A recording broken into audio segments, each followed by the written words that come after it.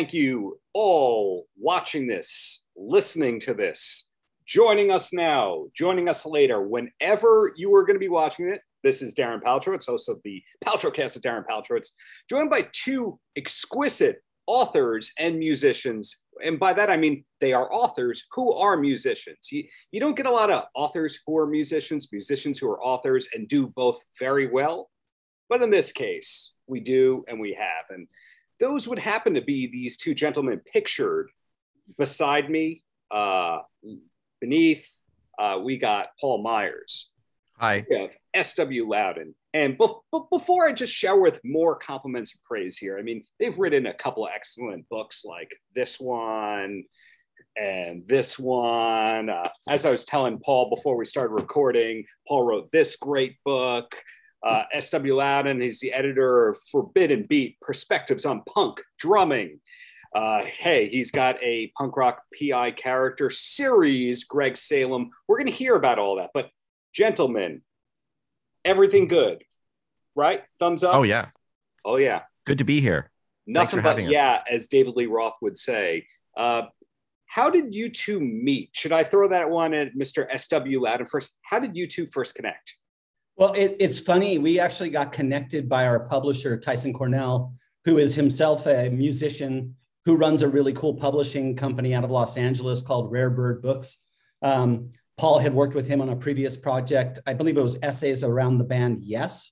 Those and, essays about progressive rock. Yeah. Yeah, about yeah. progressive rock. Essays. And uh, yeah. Rare Bird had also published my Greg Salem punk rock PI trilogy, yeah. um, which was crime fiction about a punk singer uh, based in Hermosa Beach.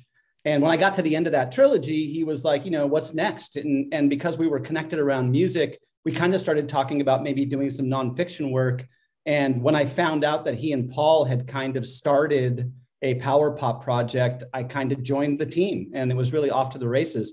But I should say, and I think this is really interesting, Paul and I have now done two books together and we've never been in the same room. Yeah. You know what? True. My second book, I've never been in the same room with that author. You're not alone. yeah. Yeah. Yeah, I uh, I also uh, I also another book I worked on. I didn't meet the editorial staff uh, until uh, at, way after it had come out. I went to England for the, it was an English the Todd Rundgren book actually. I went to England and I was like, I'd really love to meet the team. You know, I was in England. I said, I'd like to come over and meet you guys. You know, this is pre-COVID, so it was pretty easy to do. But it was sure. it, it is funny because you just get so used to dealing remotely with everybody, even before the COVID days. Like, um, I just want to add that. So I had done this. Um, I'd written an essay for Tyson's previous book. It was called um, oh, what's it called? Yes is the answer. Yes is the answer, and uh, as basically essays. And I love this idea that I, I, as far as I know, Tyson came up with to take a bunch of essays that are, are more literary than necessarily rock journalism, but sometimes it overlaps, and to take impressions of an aspect of that subject of that genre, if you will, or mm-hmm. subgenre, mm-hmm. and then and then make a kind of a literary a book that's all about the writing rather than necessarily just like a CD with liner notes. And he asked me to do something and i did this thing about basically growing up the summer that punk rock came in uh, i was a progressive rock kid and then punk rock and new wave started happening and it ends up being a coming of age story and i was really into it and i thought anthologies because you can write one story and be part of a bigger picture and it's kind of like uh it's neat. And then i said we should do this again but do it with power pop because that was an area that i kept coming up to people's experiences and it's hard to define and it still is and Definitely. we love having that yes. conversation. And then i kind of got stalled. I wanted it to be as literary as it could be. We had michael chabon uh, writing about more or less big star and, and the sort of undertone darkness of pop. And then and then it kind of stalled because i kept thinking let's get all the big guys. Let's get all the j you know all the franzens and the zadie smiths. And and as it turns out it's very hard to get people uh, either to admit that they like power pop or yes. the, to, to you know give you a good story. Then we started to think well why don't we just get people who want to write about stuff? Then it got stalled and then he said steve wants to do something like this. Let's get that together. And then we met on uh, on one of these things is one of these zoom links and uh, we started talking. We kind of pooled our resources and started putting out feelers and it was really kind of who we thought we should bring in and then other people came forward and then once the book came out, uh, and it did really well for I think for what it is, it did incredibly well. and and we were like, oh, all these people kept coming up to us now that they knew we did this, and they were like, oh my god, why didn't we ask that person? And and and some people were like, actually, like, why didn't you ask me? Like, and I, I'm like, we were just making it up. So we had enough stories left over that we could do half another book, and then we just started putting out the feelers. Have I, have I got that right, Steve? Yeah, that's absolutely yeah. right. It was it was a really good feeling when people started approaching us. It sort of validation that what we had put together kind of resonated with core power pop fans. Yeah, power pop, as you just pointed out, is a polarizing genre and name. And the weird part about the whole thing is it should be the most accessible thing that there is because power pop is rooted in well my perspective and definition on it it's sing along choruses guitar and or piano parts that are catchy. It's catchy it's accessible it's melodic yet it's so polarizing. And one of the weird parts about it is i know artists who are power pop artists who hate being called power pop. You know can you think of a more self-loathing genre or form of entertainment than power pop? I can't. Well, it's it's interesting you say that, right? Because Marko DeSantis, who is a friend of ours in common, um, yeah. who was from the band Sugarcult, his whole essay in, in Go All the Way is called Surrender. Um, and he's talking about how basically Sugarcult was a power pop band, at least when they started, more so than pop punk, which is where they ended up but they always kind of denied it because they thought it was going to be a kiss of death from a career perspective that either the record labels wouldn't take them seriously because there's so much baggage and damage around the term power pop or that younger fans wouldn't have any context for power pop and think it was old music and so he writes the essay about the trajectory of their incredible career and then admits at the end of all of it okay we were probably a power pop band the whole time right now, Paul was talking about prog rock before. I think Paul might be the first person I've ever encountered who is a power pop guy who didn't start out on metal or hard rock first and then That's go into power pop. That's interesting. I didn't know that. Uh, I, you know, I, for what it's worth, eh, I'm, I'll just admit I'm 61 years old. So one of my first bands played uh, Kiss covers, Bachman Turner Overdrive. I'm from Toronto, so Bachman Turner yeah. Overdrive was very. Uh, we were very proud of them as Canadians. Uh, we played. Yes. Yeah. And we played some Rush covers, but let's be honest, it was the ones we could play at 16. uh, so we played like In the Mood by Rush and we played uh, Fly By Night by Rush. By you night. know? yeah. Oh, yeah. And that's one of the first suspension songs I remember learning on the D suspended chord. And, uh, you know, Alex Lifeson was kind of my role model for a lot of things when I was first started soloing.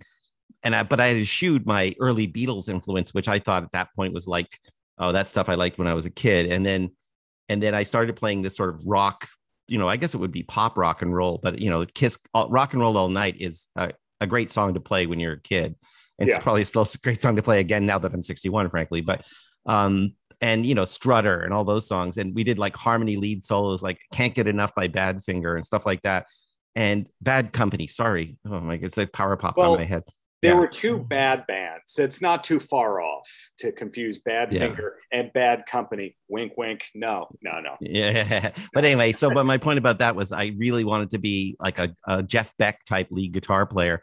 But then I started writing like melodically, and then New Wave happened. And then I was in a punk rocky band that had big block chords, but I still wanted to write songs that had hooks. And then I heard, I think I might have heard like Starry Eyes by the records or something. And then and I and of course the raspberries were around on the radio, and I thought, you know, I, and I can be honest about this. I think the raspberries go all the way. It's about the intro, but I actually, frankly, find the verses kind of cloying. But the chorus and the and the intro are fantastic to me. But that intro, especially the you know the bow bow bow, oh yeah, yeah, and like that is like that. And of course, Paul Stanley took a note from that too. So uh-huh. I started to feel where the Kiss overlapped with the power pop, and then I heard Bram Tchaikovsky when the new wave started happening and the records and uh, and you know and, the motors and all, and that's when I went, oh, there's a whole thing here. Anyway, so that's what happened to me. That's how I got there through rock and roll. And the prog thing was in the middle somewhere. Um, one of my bands started getting more and more into writing adventurous originals. Genesis had, had entered the chat. And uh, yes, again, Genesis and Yes were bands that we couldn't play, but we tried to play like complicated songs with seven seven, eight time signatures and stuff. Yeah. You know, anyway. It's funny, Darren. You know the the you mentioned coming into the hard rock door. Like I had older brothers who were heavy metal dudes who like I would roadie for them in their heavy metal band on the Sunset Strip when I was like 14 years old. So I got wow. to go into these clubs and stuff. Wow. Um, and they played a lot of classic rock and heavy metal for me. And then I discovered punk rock in the early 80s.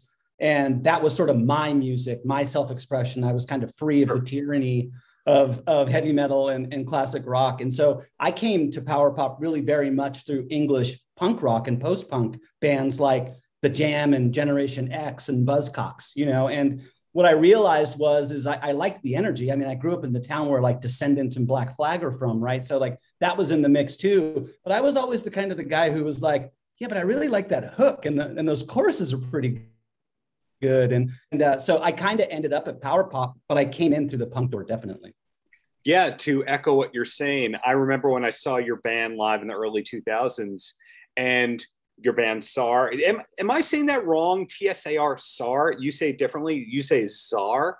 It's czar. It's okay. it's just another spelling of CZAR. And the reason we're called TSAR is we're all super avid crossword puzzle people. And that's one that comes up a lot in crossword puzzles.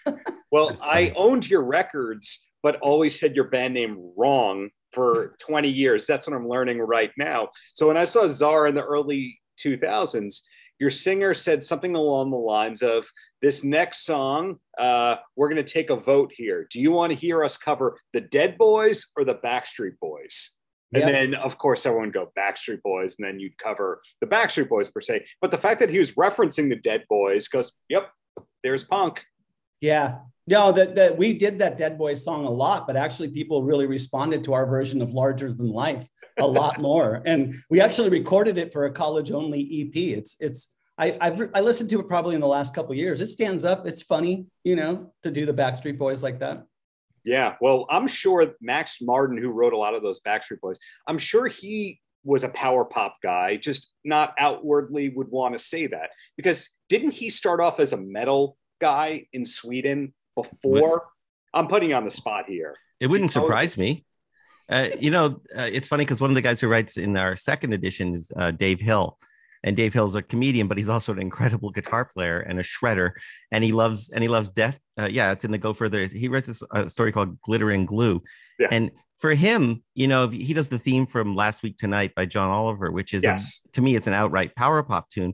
But he he can shred, and he's got a death metal band on the side, and he's got this other hard rock band, but he also has yeah. Valley Lodge, which is more of a traditional power pop band. Yes. And and so he's a great example of where if you have a sense of melody and you know how to shred, you probably find this this current, you know, it's like a wave you can surf because you're you're you're uh, welcome so many places and so many places please you. And I guess having an open mind, right? Like music's music. So at some point we don't really want to genreize ourselves out of crossing waters, you know?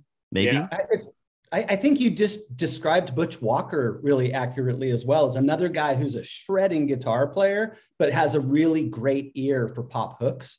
Um, and I think Marvelous Three really is that the, your definition of Dave Hill's music, I think, really fits Marvelous Three and what Butch Walker's been able to do with his career as well. And he writes a whole thing about being in Marvelous Three for our second edition as well.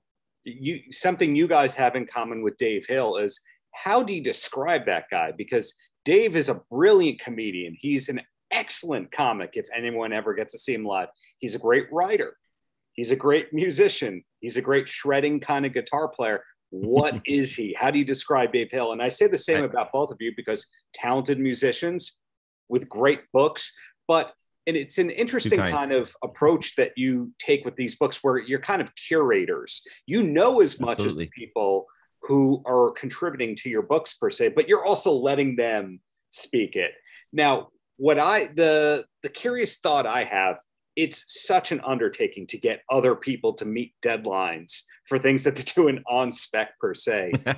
so when we see a book that has 20 or 30 contributors to it, did you pare it down from like let's ask these 50 people and hope that 20 to 30 come back in or did you really get one for one that everybody contributed? There's some people that dropped out. Steve you want to maybe talk uh, i would just say this quickly that the uh the list of people we get then people just eventually drop out like they get a deadline on something else. And there's yeah. a few authors that i had invited who said they would do it and then they called me back and said you know i don't think i'm going to make it. So and then you know but we also over asked at one point just knowing that there's a certain amount of people who will drop out but Steve, what was your experience? Because you had a whole. We also split up into teams to get these authors. That's why I'm referring to Ah, Steve. Smart. Yeah. yeah And we I have mean- meetings to discuss it, but we basically Yeah. delegate.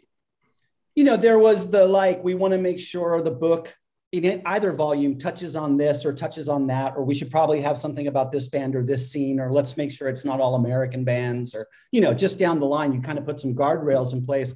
And then what Paul and I did better on the second book than we did on the first book um, was we would come up with a list of 10 and chunk them out and then ask those 10. And then when we got six responses out of that, then we would come up with the list of the next 10 or the next five. And Yeah. so, because we also had to make sure we didn't go back to our publisher and go, great news, there's 900 contributors, because, you know, then the Yeah. book would be like this big and the printing costs would be terrible. So we, we just did it in little, little waves, always making sure that the quality was there and that enough eras and countries and voices were being covered so that we felt comfortable about the mix. Wow. Okay. So this format that you did for both of these books, when I started thinking, okay, my third book, uh, I'm going to start writing it, and I saw the format of your books, I went, that's what I'm going to do. I'm going to get some experts write essays, and then I started reaching out to a couple of people, and I went, wow, I don't trust any of these people to meet deadlines, and. Uh, Everyone's going to say yes and then not actually deliver essays per se the contributions that you got, did you have to rewrite, or is it pretty much what you see is what you get because you wanted to give the people's voices?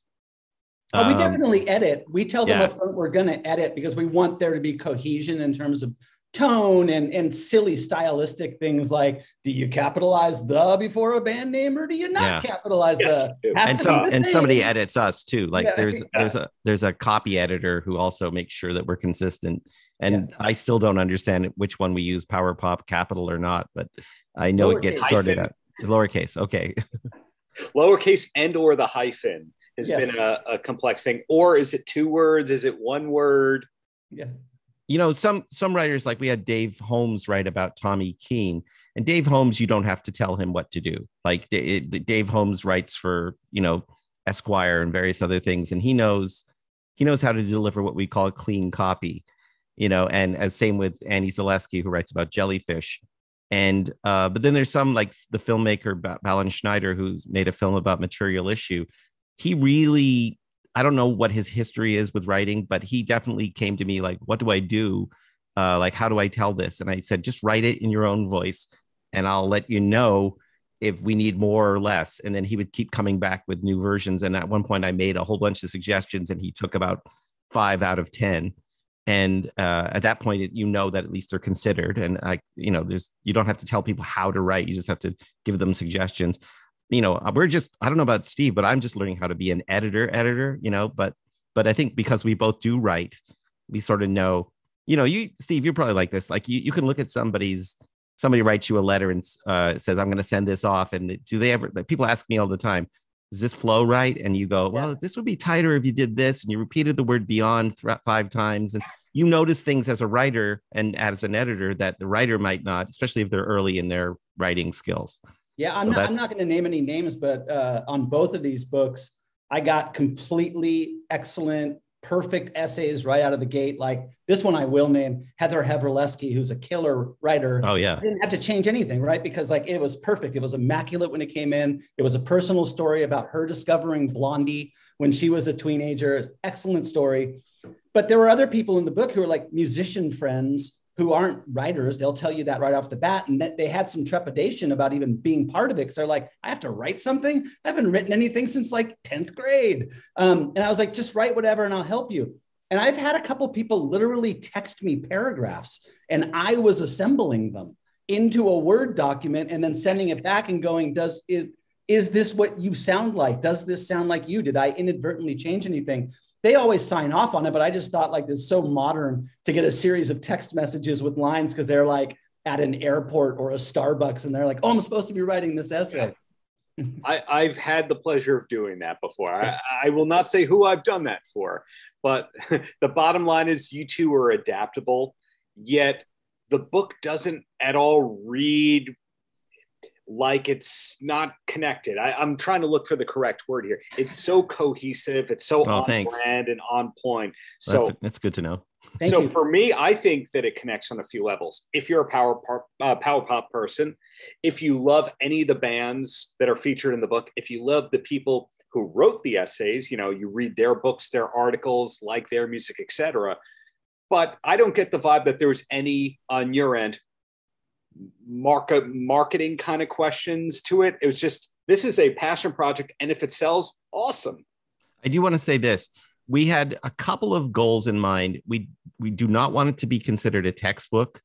It's not. This is book isn't going to necessarily be held up in a classroom or a courtroom, frankly, as as here's exactly what power pop is. The yeah. idea is that by painting as many shades of the of this impression, you will get a sense of in a collage way of where this field that is frankly read you know some of it's arbitrary that we call something power pop it's a subgenre but there's like you know we have puffy amiyumi in here from japan and uh, andrea warner writes a really fascinating essay basically about racism and sexism but within the context of this light music that andy from jellyfish worked with mm-hmm. and so that works in our book because we also have you know the expected stories about big star or the expected stories about from power pop luminaries like ira robbins or uh, um, jordan oakes who started the first uh, power pop fanzine yellow pills.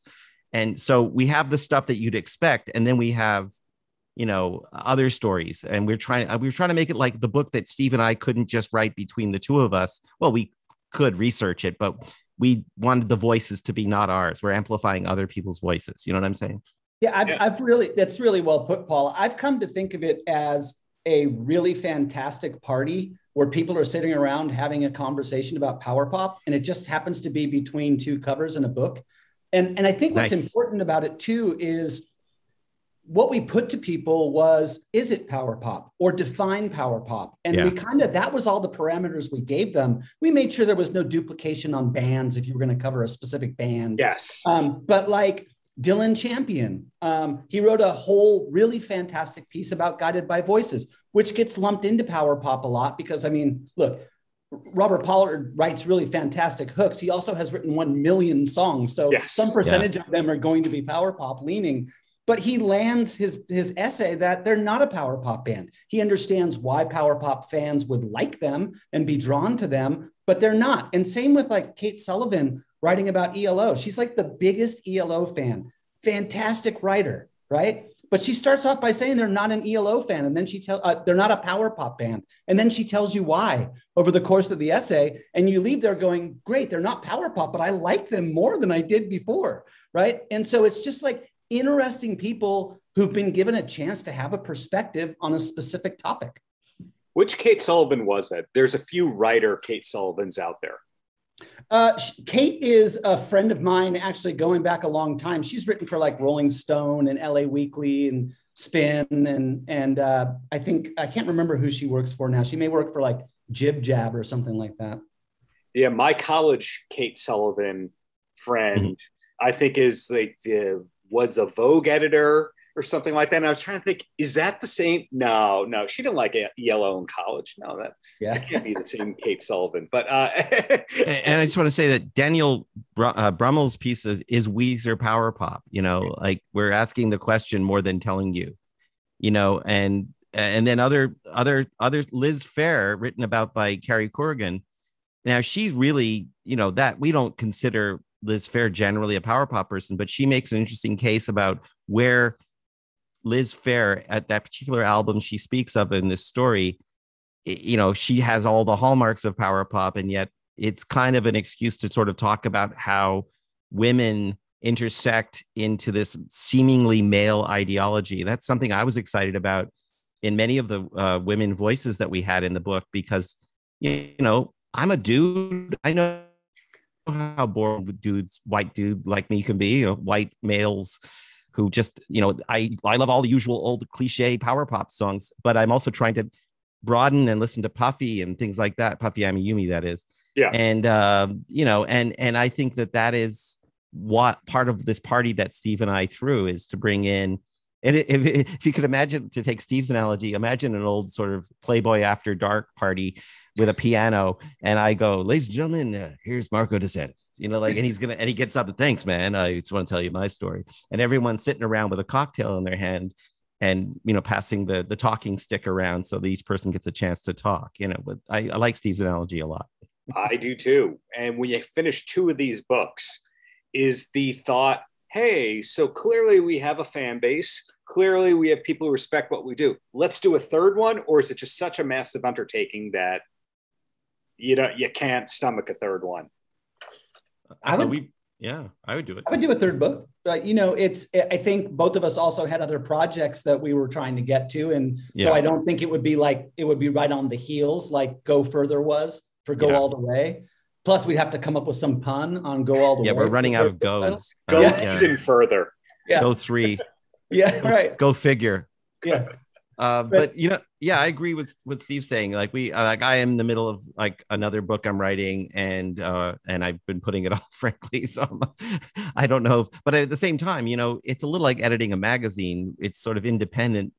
You know, it's a hard. Well, I was going to say hardcover, but it, this one's paperback. But it's a it's a harder version of a magazine, more like what the in England they used to have these things called annuals. You know, and um, I don't think we could do one every year right now, but uh, certainly if the uh, you know if Rare Bird's down with it, and if Steve and I are down with it, we could uh, we could totally uh, I, you know I don't know how many more stories like this. And the thing uh, the thing is, I was also wondering. Steve and I will have this meeting separately, of course. I was wondering if if uh, we should take the you know this whole thing, we could expand it into like some other area that is equally you know the way that prog was for the first Rare Bird thing, and now we have two Power Pop books. There could be whatever, just punk rock, or you know. And Steve's got this great book about drumming that you know has the same vibe to it. I didn't work on that, but you know, tell, maybe you talk about your book actually. Yeah, please do. Uh, thank you, Paul. Um, uh, yeah, it's called Forbidden Beat Perspectives on Punk Drumming. Follows a similar format where I went out and I asked uh, notable music writers, notable punk musicians, and of course, punk drummers just to talk about punk rock drumming because, you know, I'm a drummer. The fact that I discovered punk rock right around the time that I got my first drum set really made it seem like I could jump in and play drums because like the kind of music my brothers were playing for me just seemed too complicated. Like I knew at 11 I was never going to be Neil Peart. Like I just wasn't right. I, I, I have the attention of a squirrel. So it's like the idea of sitting down and practicing for eight hours a day just wasn't for me. Then Yeah. like I hear the damned and I'm like, well, I could probably do that. Right. So like punk rock opened up this whole other world to me. And so like I've been a punk fan for as long as I can remember. But as I'm reading all these books about punk rock or about music or these autobiographies or biographies about bands, there's not a lot about the drummer and spe- specifically in punk bands in those books. Yeah. And so I was like, as a reader, there was a book I wanted to read. And so as an editor, I just put the book together myself. And we ended up um, doing it's a combination of essays by like uh, Matt Diehl, who co-wrote the Butch Walker book. Um, uh, he writes about the D beat. Um, Ira Elliott from Nada Surf, the drummer from Nada Surf, writes about Yep. proto punk and garage rock. Um, I've, I interviewed Rat Scabies. I interviewed Mike Watt. I interviewed uh, Joey Shithead from DOA. I interviewed Fanny Diaz, Lori Barbero. And then we also had um, a lot of drummers like um, Laura Bethita Neptuna from um, the Neptunas, which is a surf punk band. She wrote about like how Gina Shock was this ultimate inspiration for her um, and how that shaped her life and her experience with drumming. Stephen McDonald from Redd Kross is in it. So like it just gave me a chance to like talk about this subject that I'm very passionate about and let people have their voice and talk about it. And again, I think we kind of surrounded it and we're able using that collage method or that conversational method to sort of like have an interesting conversation around punk rock drumming.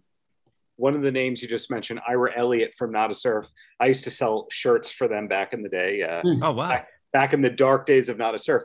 And whatever music book you could do next, Ira can be in that because that's a guy who Nada Surf is a big successful band, which is wonderful, well deserved. But do you know about his glam band from uh, the, the late '80s, early '90s? You do? Yeah. Yeah. Yeah, well, you know, the- is the name of.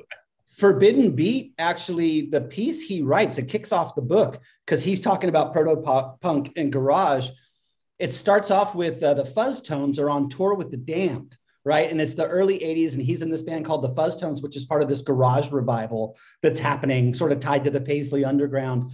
And they go on this European tour with the Damned. What he didn't know about the Damned was Rat Scabies, the drummer from the Damned, amazing name, Rat Scabies. Oh yeah, um, invented gobbing which is he was at a Sex Pistols show, and to show his appreciation, he started spitting on the band, and that became this really big thing in punk rock. So the first night they go out to open for the Damned, people are just spitting on them, and his whole piece opens with that and how like being the drummer affords you the extra distance to not get spit on, like the rest of the band that's up front. Oh yeah, yeah, it's yeah. Amazing. Yeah, that sounds like Ira to me. yeah. The real re- the real reason they invented the plexiglass stage shield, right? Yes. like, oh, that's a really good point. I I sometimes wondered is that for acoustics? Oh, it is. It actually. I was just kidding. But- But yeah, yeah. It, it's generally to keep the hi hat out of people's ears.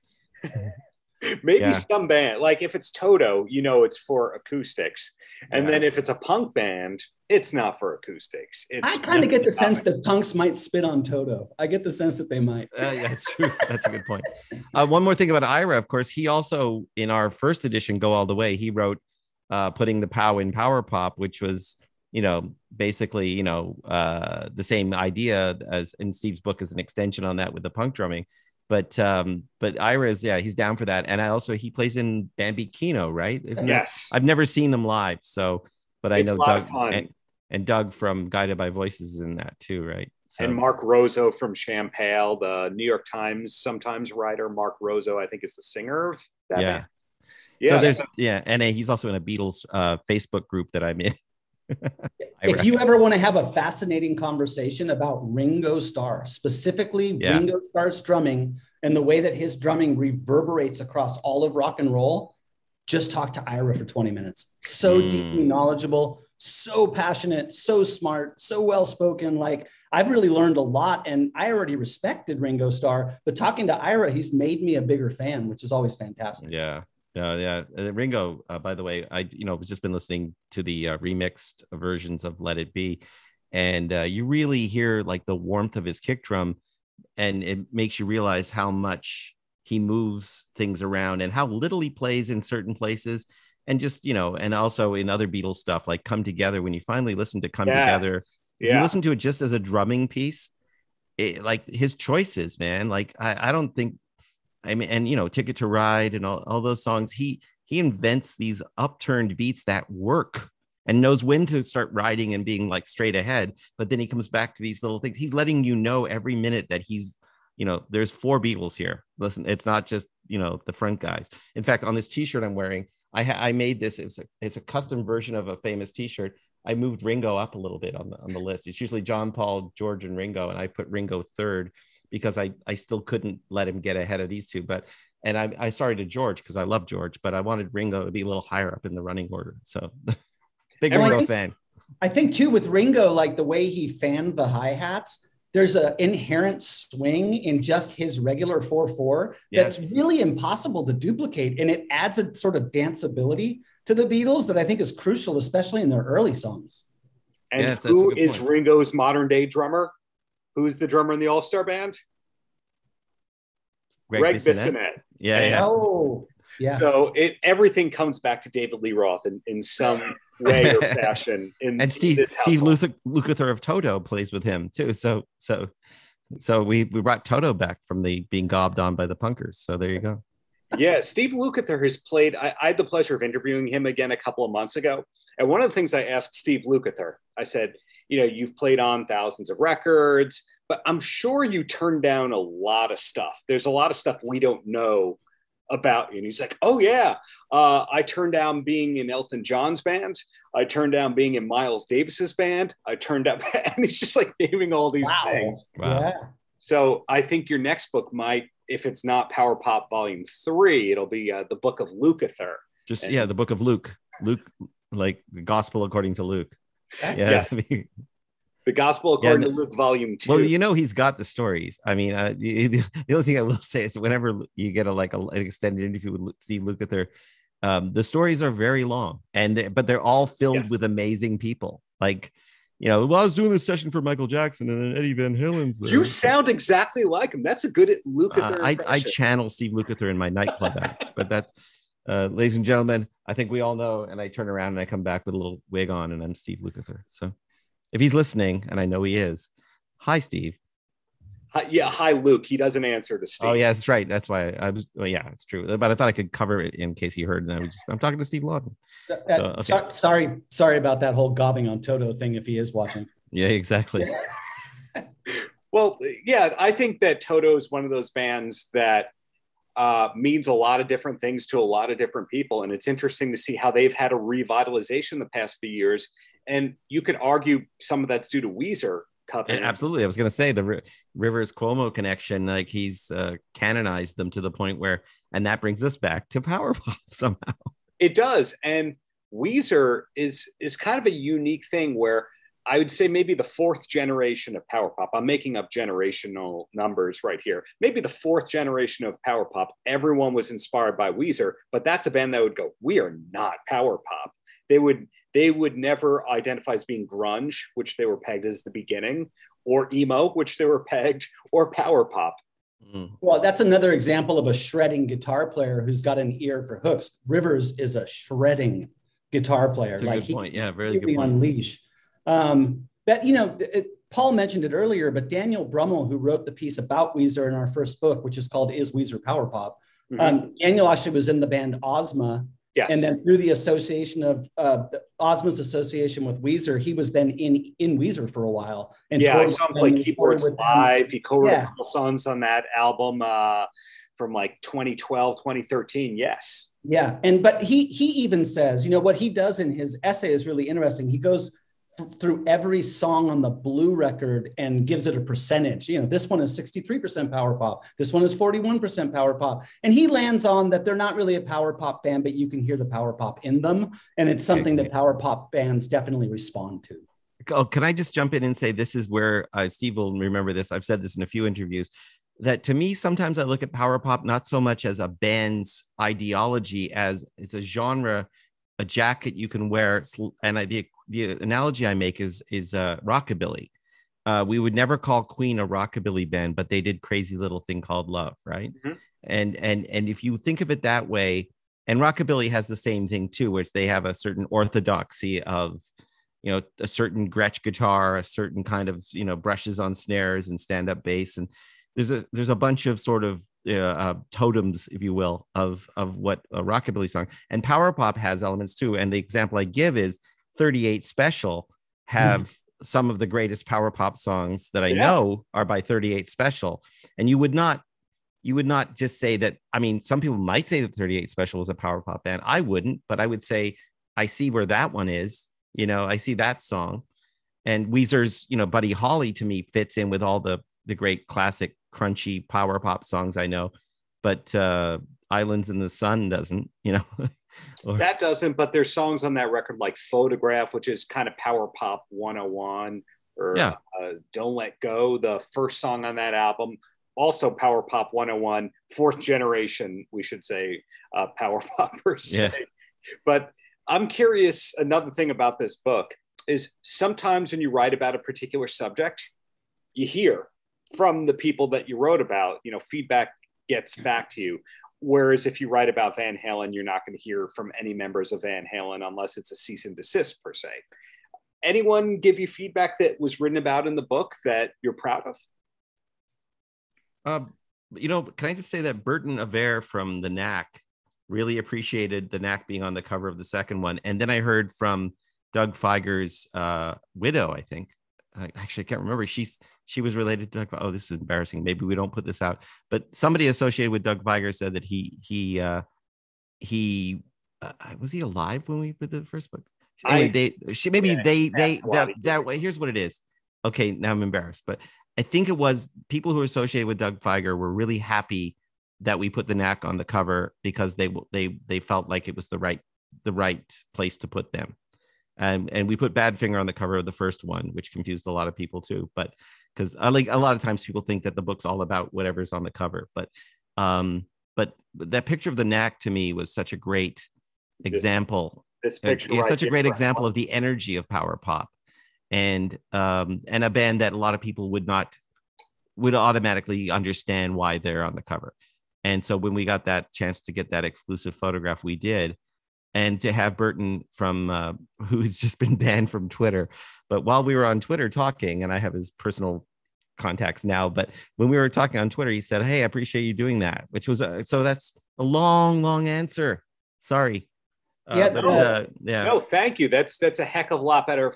No, and we're waiting to hear uh, if Yeah. anyone likes the book. Well, I've dis- I've disowned Eric Carmen, and I've been pretty public about that. So I don't know if, He- if- Uh, again on Twitter, I got uh, pinged by AC Newman um, from the New Oh, cool. Pornographers, who was who had found out that um, a friend of mine had written a piece about him in the first book. Chris Holmes wrote a really excellent piece about AC Newman and New Porno- Pornographers, and and uh, he pinged me on the Twitter, and I was able to send him a copy of the book, and he was really cool about it and thankful. He just wanted to like read the book. He's a he's a power pop fan. Um, I've also heard from and gotten to know uh, Steve Allen, who's the lead singer of 2020, and that's the band I write about in the second book. If you're a power pop fan, you know all about 2020, but it's not a household name for most people, right? But like Right. for me, getting to know Steve Allen and and having him say that he loved my essay and that he loved the collection we put Oh, together, that's great. like, yeah. oh my gosh, is like you know heaven to me. Well, Steve, I have to ask the same question in a different way now, which is that which Chris Holmes is it that wrote about this? Because I don't think it was Chris Holmes from Wasp who wrote the the essay. no, no, he's a crime fiction author that I know from that side of my um, writing uh, community. So no, he's not the guy from Wasp. No. There's a few Chris Holmeses, a few Dave Holmeses, a few Kate Yeah. Sullivans. Uh, Yeah. some people they maybe should be Chris J Holmes or you know Chris Yeah. not guy from Wasp Homes. yeah, I'll start. I'll start having a put not guy from Wasp as his middle name. I do want to say though that you know to your point about the knack being on the cover of the second book. For the first book, we did an event at a music store in the Valley, um, and we had people play, and we had a panel discussion, and it was it was a really great event. The guy who asked the most questions was the guy behind the counter named Tom Graychick. And he was asking questions from behind the counter of the panel. Clearly a big power pop fan. I got to talking to him and he's like, listen, I've got all these unpublished photos from when I was going to school in Berkeley and this four year span of all these bands you're talking about. And so that's how we ended up with that cover shot and ended up with him doing a photo essay in the middle of the second book is because he's a fan and, and he approached us. Wow. Well, Yeah. Paul, uh, we were talking before about your Todd Rundgren book.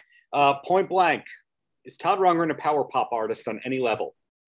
on any level yes uh, in in fact in many ways uh, you know i mean he's certainly not limited to being a power pop artist but he he uh, especially with Nazz uh, and then i think on something anything he pretty much invented one of the prototypes of power pop with a song called couldn't i just tell you which to me is if that's i mean it, it and it, it takes a lot from the who which are true proto power pop so um but all the elements of and you can hear it in um several Todd Rundgren songs. So, and, but the thing about Todd is like it, this is where it becomes pop is just a jacket you wear every so often because Todd also is an electronic pioneer and he's also a ballad guy. He did like a whole Carole King period where he was a piano ballad maker. Um, but you know, he, he- when he plays the guitar and he can also do bluesy stuff. So, but Yeah. but couldn't I just tell you is a great example of that. And uh, and oh, and uh, I saw the light. I think fits in the power pop. It's more in the pop than the power, but um, it's it's got all the elements of why you would like someone like an Emitt Rhodes, say, you know. So the, there's that Beatle aspect that runs through power pop, and you can haggle about whether a song that is softer is still power pop. But um, and people do, and frankly, that's one of the things we love about this party that we keep throwing, is that uh, they're really. I, I think it's boring if you try to be definitive and don't allow for people to disagree. I mean, I had to learn that as a frustrated nerd for many years, thinking I want to be right, you know. But uh, I guess that's part of the comfort of age is knowing that everyone's got an opinion and they're not always right or wrong, and it's fun. It's fun to talk. We love music. That's why we talk. Yeah, the people that love power pop are just so endlessly devoted. There's no casual power pop fans. You're either all in or you're not in. And so this book, in the best of ways, caters to that all in devoted fan base. So wholly has my recommendation, both volumes of it. Now, what's next? Uh, Steve, are, are you allowed to say what's next, what you're working on? Are you under deadline.com embargoes and publicists that, you know, have NDAs and that kind of stuff? No, uh, what's next is that that book that we mentioned earlier, Forbidden Beat, Perspectives on Punk Drumming is actually being published February 8th of 2022. Thank you. Um, and so I'm doing a lot of uh, essay writing and interviews and gearing up sort of the uh, publicity machine around that. But I'm also talking to um, some bands about potentially helping them write their biography. So that probably in 2022, I'm going to turn my focus to uh, working with a band to help them write a biography. Awesome. And Steve Lukather is not on that list, correct? I, I, you know, I'm under NDA and can't say for sure. Um, can't deny or confirm. He's texting me now. He's uh, he's, he's it's Luke. He says. Anyway, um, that's that's exciting, Steve. Yeah. Yeah, I think that goes down to the principle of good work leads to more work per se. Are you drumming at the moment, or everything's going to the writing? No, actually, uh, because I'm a crazy person, um, I'm a dad and a, and a husband, and I've got a full time job, and I'm writing books. And I also just released an album called Dose with a band called The Brothers Steve, which is an LA based band on Big Stir Records. And actually, Darren, uh, it's three of the members of Tsar. It's Jeff Whalen, Jeff Solomon, and myself. We were all in Tsar with two of our friends, Oz Tyler and Dylan Champion, who wrote the GBV essay. Um, and we're playing basically power pop. Band called The Brothers Steve. Yeah. Why, why isn't it called The Brothers Jeff if there's so many Jeffs in the band? Well, it, this is how weird it is, right? So it's called The brother Steve because I'm the only Steve in the band. I'm not referred to as Steve. I'm referred uh, to by a oh. nickname so that there are no Steves in the band. Quick tangent. I was in a band once called the Steve Kyle Orchestra because we had originally had Steve Kyle in the band. Just, you wouldn't know the guy, and uh, and he kept not showing up for rehearsal, so we replaced him. But we decided to name the band after him. So that was just uh, you know, when you're when you're 18, you do stuff like that. Oh, yeah, you could do even worse than, than that. I, I think that when you grow up as a music fan, you realize that J. Geils is not the singer in the J. Geils band. No, it was uh, Jethro Tull, right? Yeah. No, just ben, kidding. Ben Folds Five. There's not five of them. Leonard Skynyrd was their PE teacher. He actually was. yeah. it, but it was wasn't it like Leonard mm-hmm. Skinner? Mm-hmm. Lynyrd Skynyrd. Yeah, mm-hmm. it was. But when you're down there, it's Lynyrd Skinner. Yeah. You know, Skynyrd, we can argue, has power pop tendencies to them when you think of Gimme Three Steps and What's Your oh. Name and some yeah. of those. Those I don't know. Well, I mean, that's certainly the roots of 38 Special right there. So, you know, so it's there whatever DNA strand was going through Skynyrd around that time. I think uh, Aerosmith. There's there's one if you want to get into those ones. Um, a song like uh, Janie's Got a Gun uh, and Jaded. Jaded by Aerosmith is an XTC song, as far as I'm concerned. Just, hmm. uh, I will argue anyone on that. Well, if, if, you, look, you look at who really wrote those Aerosmith songs. Allegedly, I'm, I'm going to say allegedly, in case anyone okay. is, is listening you know, most of the Aerosmith output from 85 forward will say Tyler Perry Frederiksen, Tyler Perry Martin, Desmond Tyler Child. Desmond yeah. Child is another one that comes up. Yeah. Yeah. Tyler and, Perry, who also plays Madea, which is fantastic. yes. What a busy guy. what a busy guy. Uh, um, but uh, yeah, no, exactly. And uh, that's, and that's, that is, by the way, Steve and I talked about this, I think. One of the sort of, you know, guys like Mike Viola, who are great power pop guys, they make a living writing for things like Disney and Correct. being being the song maker behind certain other person's things. And you know, certainly uh, Mandy Moore has discovered the Mike Viola thing in, in her solo career.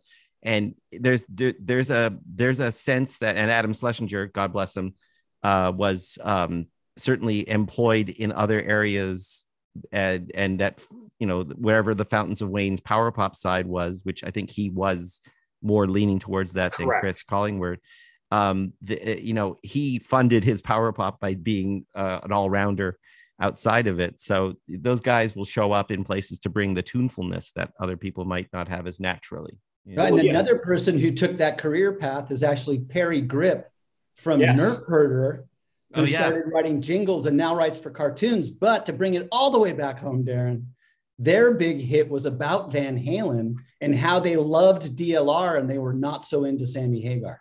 I have sent Parry a couple of emails. Hey, I want to interview you about Roth. Huh.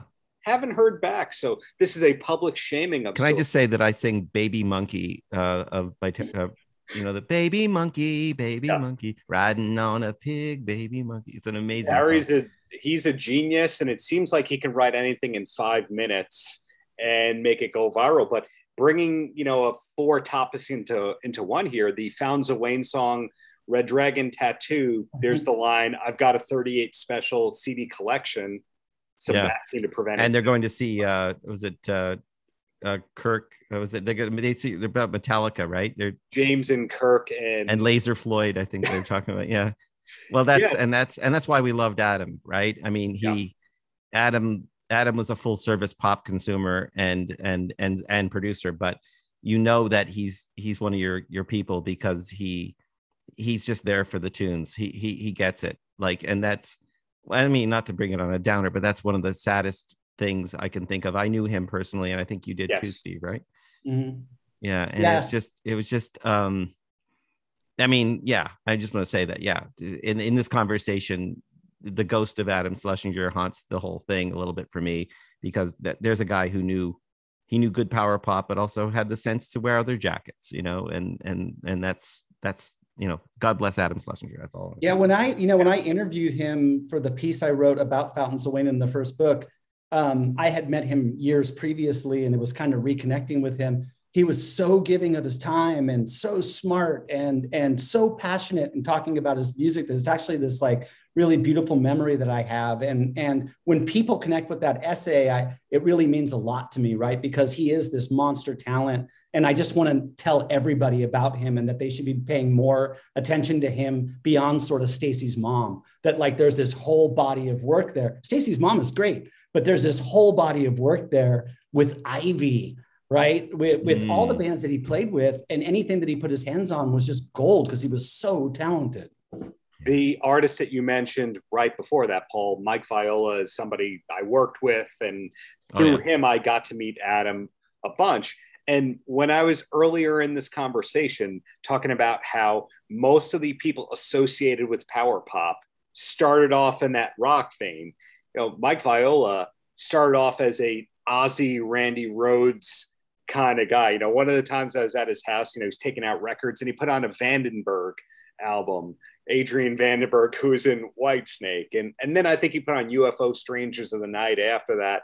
Uh, I find that a lot of the people start off with the British metal, the, the early hair metal kind of stuff. Then they discovered Squeeze and mm. the Knack and other stuff like that. I think we have a mutual friend, Steve, in Linus Dotson. Mm-hmm. And yeah, Linus is another one of those guys who went Judas Priest and then Jellyfish. I had a conversation with Linus about power pop, and um, he actually I interviewed him, and and he said at one point, "I know I'm going to get a lot of grief for this, but Bon Jovi is my Beatles." That's he, interesting. He yeah. is very intense about Bon Jovi. It's yeah. not a, a joke. here's here's one. Uh, Jason Falkner, yes. who is also a friend of mine, but Jason Falkner when I saw him play solo in the bottom of the hill, San Francisco, he was doing photograph by Def Leppard. It's a great cover. You yeah. don't have to change a lot to make that a power pop song. No, you know, it's a power pop song as far as I'm concerned. And uh, a lot of Def Leppard actually is is uh, could be considered. They, they lean into it a little bit more into the rockist, what we call rockist way. You know, it's how you dig in a certain way. And I think maybe power pop's about weepy guys sometimes, sometimes, whereas uh, metal pop is often about sort of macho, you know. So there's there's that macho needle, but you know, all of Def Leppard's influences are things like T Rex, and it's not like, you know, I think in England too. I wonder if England has more of a melting pot or less of a melting, but it seems like people grow up listening to everything from Gilbert O'Sullivan to you know. Um, speed metal and they can somehow and hip hop too and they somehow manage to like make original music so i don't know again, genres are limiting, and I wish I was even less genre happy sometimes. Yeah, and you know, connecting all the dots here, we talked about Butch Walker before. When the third Marvelous 3 album was coming out, and I interviewed him as a terrible 18 or 19 year old interviewer around then, he was jokingly saying how that third Marvelous 3 album, they were thinking of calling P2K, as in Pyromania 2000, based on their love of Def Leppard in that era 99 2000 2001 it was not cool to like def leppard. So it's interesting to see how a band like that is the biggest band in the world then nothing and uncool and then they're cool again and doing the best numbers of their whole careers you know all these years later per se. Do we think this is the last topic a spitball thing putting you on the spot here do you guys see any of the bands featured in this book as one day having that late career, post career renaissance the way that somebody like Rodriguez did? Like, do you see Big Star eventually one day getting that that final share that younger people get it? I, I think Big Star already did, right? Yeah, I, think I, think starting so in the 80s, there was this revival around them and and it's been maintained now so that like Big Star's canon right? Like people listen to Big Star because of bands like REM and the replacements, and because successive bands who like those bands have kind of waved that flag around September Girls, right? And I'm in love with the girl. Um, I actually do think, and it's too early to be happening now. I actually think Fountains of Wayne will have a bigger footprint and a, and a bigger legacy than people are aware of down yeah. the road. Like for example, uh, just this weekend, I've been flipping out, and this is this is what it's like to be a power pop fan, right? I discovered this band from Philadelphia called Second Grade, and I spent four hours yesterday just listening to their back catalog on Bandcamp. Right, I'm this huge fan. I like discovered them. I listened to the record. I bought the vinyl. I friended them on Twitter. Right, like immediately I'm into this band. And what I was responding to in their music is that they seem to be unabashed fans of Fountains of Wayne. And that's the way it's going to get carried forward is bands paying homage because they love Fountains of Wayne's music. And yeah. I think we will see Fountains of Wayne's reputation and legacy grow over the next decade or so. It, it, occurs to me before I let Paul weigh in and stop talking way too much uh, that Katy Perry covered Hackensack by Fountains of Wayne for her yeah. MTV Unplugged. I don't know if right. she also did it live otherwise, but maybe that's the sort of thing that does make some of these bands live on that somebody way too famous spotlighting a song. But what were you going to say, Paul? No, I was just going to say that, um, you know, not that we've decided that Todd isn't, Rundgren isn't necessarily power pop, but, you know, when a band like Lemon Twigs, mm. uh, uh, you know, are constantly talking about, you know, they, they, they're really into bands like that and they're really into chamber pop and they're really into so like things like Emitt Rhodes, I think would come around again. Um, uh, I don't know what happens there. And again, I if I was a good gambler, I'd have a lot more money, but I, I can't make bets on these things because you never know. But I think that seeing how XTC, for instance, have, have gained a lot of at least street cred. In some ways, XTC are the big star of you know contemporary music because there's a lot of bands now who and you know the catalog's there you know you could just find all the xtc albums right away. And um, you know in the old days it was harder it was harder to find stuff. Like i remember when i got into big star it had to be on a cassette. Somebody snuck them in on some other thing. And i said which one which one's this? I don't because i didn't i don't big no one knew big star when they were happening other than certain rock critics. Right. i was a badfinger fan but really only the singles you know? And uh, i mean i knew come and get it and i knew you know uh, no matter what and day after day and um, but I it was only later I discovered the album. So I think things things do take a while, and you're right. Some younger, hipper person will either do a cover or start talking about them, uh, the influence. You know, the way like Laura Nyro, for instance, not power pop, but Laura Nyro's influence shows up in you know younger women artists who who uh, they might have discovered Judee Sill that way, and the same thing. And you hear suddenly people mentioning a name that maybe hasn't been mentioned in the mainstream. And then you'll get people saying that they were always into those things. That's what happened with big star. People going i was listening to big star in 73 no you weren't. You know like, i mean some people were. I think you know have you seen um, the the kiss interviews where paul stanley goes yes and that was inspired by big star and you go no it wasn't. Yeah yeah that happens although he was a huge raspberries fan so i mean that's interesting um yeah, I don't know. I, I, I think what Steve said is right about the Fountains of Wayne. uh, I, I I wonder if um, yeah, I wonder if Jellyfish are a band that could be um, cross generational, and uh, you know, and Emitt Rhodes, I think maybe you know as well, and you know, just I mean, it'd be nice if I don't know, I can't I can't think of like the Shivvers having a renaissance or I you know maybe maybe um 2020 and maybe the records you know but they didn't leave enough of a catalog the records i feel like you know so well i think too teenage fanclub is another band that i think could have another wave of fans yeah. coming up and discovering their music That's and then if you point. discover and matthew sweet club, too yeah. yeah. Matthew Sweet for sure. But if you discover Teenage Fanclub, you automatically also discover 30 years of the music they liked as well. And that's the beautiful thing about these that's bands. true. It's a prism, you know? It's a, and Prism from Canada is another band that, um, do you know, I actually, I, I touched on this very at the beginning here, but yeah, I was, um, I was a guy who liked Rush because they were the, the band next door that made good. Yeah. I always say that if you grew up in North York, uh, Canada, it, it, imagine being a Run DMC fan from Hollis, Queens. You just felt like Run DMC were part of Hollis, Queens. Well, Rush were my neighborhood rock band, and uh, they were like I, I, they were older than me, but we they were you know representing, and and we felt we felt like Rush were you know guys like us. You know they grew up on the same streets as us. Did, so didn't so, that but, same area? I have to cut you off before I forget this. Didn't the reggae artist Snow also come from that same area? he did, but he was yeah, he's okay. younger than me, but yeah, Informer was his big hit. I, uh, I, interviewed Snow and I uncovered that he was a huge Kiss fan, and I'm like, oh yeah.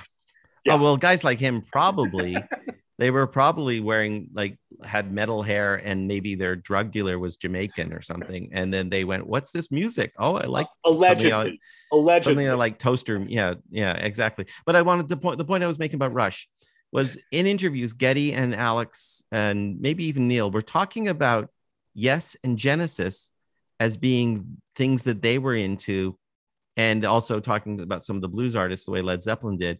And I went, "Oh, what are Genesis and Yes?" This was how early that was, and so suddenly I was I was hearing, uh, you know, selling England by the pound, and and that kind of got me deeper into other and this is the power of artists talking about other artists. And if you're listening to them and they tell you what they're listening to if you get curious if a todd rundgren fan checks out laura nyro then you know then there's there's kind of a lineage there. And that's that's exciting. That's all i'm going to say about that. Well no i think i think that's definitely true of like what the replacements did very vocally for alex chilton and big star and yes. what they did very vocally for the new york dolls. Yeah. Yeah that's yeah. a good, absolutely good point. Well said. Well, both of you can't thank you enough for your time. Can I just plug writing. my? Can I just plug my podcast? Please plug to, yeah. that and the books.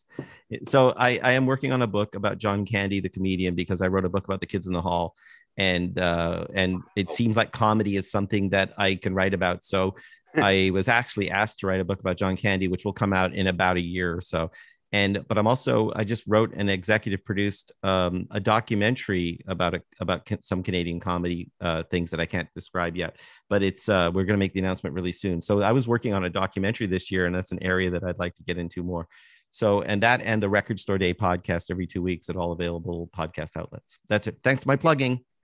Yeah renaissance are working on such better things than most of the people I interview. I, that can be mm-hmm. printed publicly and are so modest about it and so knowledgeable about all these uh, topics. Stop, so, stop. so the He's praise continues. Yeah. I look forward to those. Uh, Steve, the the collection of Greg Salem, the punk rock PI, continuing. Uh, it was a trilogy. Uh, kind of ended with him going to prison, so we'll see if he gets out of prison at some point. well, if you need any research related to the PI stuff, yeah. come to an actual licensed PI and we'll take it yeah. from there. But thank you both for the great work you do, for your time, and just looking forward to everything to come. Darren, thank you so much pleasure, for having yeah. us on the show. It's a, a really fun conversation, uh, but just inviting us on and, and, giving us the time. Really appreciate Thanks, Darren. It. Yeah, thanks a lot. And it's always a pleasure to talk to you, Steve. Uh, and you too, Paul. One day this we will the see only time other. we ever get to see each yeah. other. As they say in Spinal Tap, have a good time all the time. All the time. Yeah. Yes. Thanks, guys. Talk soon. Yeah. See you. Bye. Outrocast.